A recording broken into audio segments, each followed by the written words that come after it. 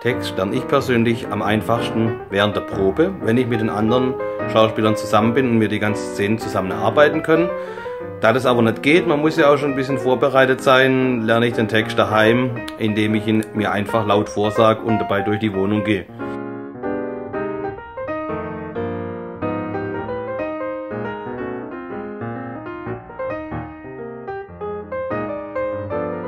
Ich kann es nicht im Sitzen, ich, ich kann es nicht im Stehen, ich kann Text nur lernen, während ich laufe.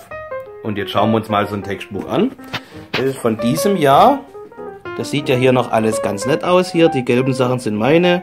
Man muss da gar nicht viel sagen. Immer wieder mal so kleinen Einsatz. Und dann, ja, dann kommt so ein Riesenteil. Das muss man dann halt natürlich auswendig kennen. Und später kommt dann noch viel mehr dazu. Das ist mal aus einem von den letzten Jahren, dass man sich immer viel Bewegungen noch mit reinschreibt, was man denn so alles nebenher macht. Man, man steht ja nicht einfach nur da und sagt den Text, sondern man hat ja immer eine Aktion dabei. Und hier bei der Seite haben wir sogar eine kleine Skizze, wann gehe ich wohin. Ja, man sieht, manchmal kann ich meine eigene Schrift schon immer lesen, aber es funktioniert.